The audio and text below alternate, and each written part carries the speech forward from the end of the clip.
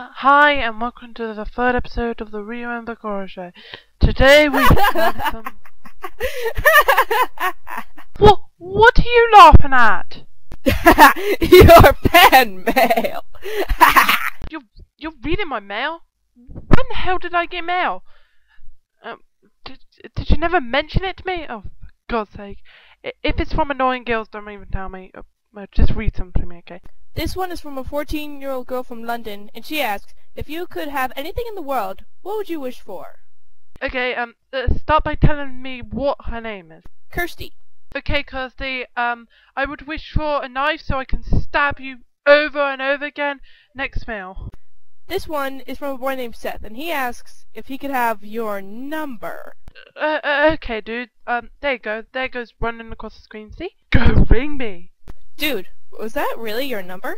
What are you crazy? I don't know how to count. Okay, this is from a 16-year-old girl, and she asked, what would it be like if you were controlled by a Dark Lord, went mad, and tried to take over the world? Okay, I only did that once. I I did mean it, but I failed. I died and somehow came out and got my own show. I don't know. Okay, this next one comes from a girl, 13-year-old, from Oregon, and she asks, Bakura, have you ever heard of a comb? I was wondering the same thing. What?